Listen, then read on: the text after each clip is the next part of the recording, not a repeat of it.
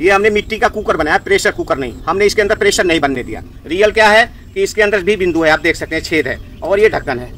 हम जो है, इसको बिल्कुल इजी बनाया होगा। कोई प्रकार का इसमें आपको इसको फटने का और मतलब प्रेशर बनने का डर नहीं होगा। इसको जब चाहेंगे, आप इसको हटा लेंगे, रख लेंगे और अपने भोजन को चेक कर सकते हैं। कहने का मतलब यह है कि इसके अंदर जो मैं टेम्परेचर के लिए ये जो बना रखा हूँ ना, ये वाला सिस्टम ये मिट्टी का सिलेक्शन जो मैंने किया है, हम आपको बोलते हैं कि बिल्कुल सीम गैस पे भोजन बनाइए। आप कहते हैं, भाई साहब सीम गैस पे भोजन बनेगा कैसे? मैं कहता हूँ, पुरानी बात बहुत पीछे रह गई।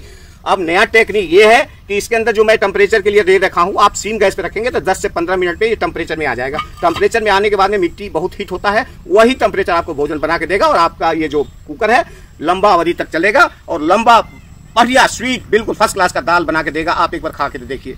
भाई साहब, हमारा पूरा स्वास्थ्य मिट्टी के साथ होना चाहिए। जुड़ेंगे, तभी हमें स्वास्थ्य स्वास्थ्य बनेगा। अन्यथा अल्मोनियम की तरफ़ जाने के बाद में हम 40 साल, पैंतीस साल 30 साल में जो हमारे सामने बीमारी आ रही है, हम अपने बेचने के लिए नहीं कर रहा हूँ, आप खुद देखिए। पूरा भारत में तरह तरह की बीमारियाँ हमारे घेरे में हैं।